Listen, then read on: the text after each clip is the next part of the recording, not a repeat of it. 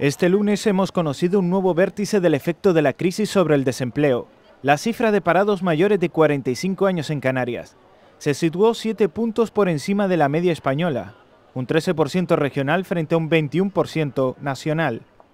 Así se desprende de un análisis realizado por la Asociación de Grandes Empresas de Trabajo Temporal, que además revela que somos la comunidad autónoma que ha experimentado un mayor aumento en la tasa de paro de este colectivo, desde que empezó la época de recesión en 2007.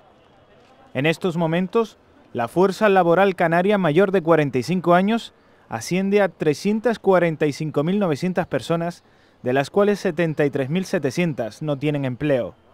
El perfil del parado mayor de 45 años es un varón que lleva al menos un año buscando empleo. El estudio también señala que por primera vez en la historia, este colectivo supera en España el millón de parados.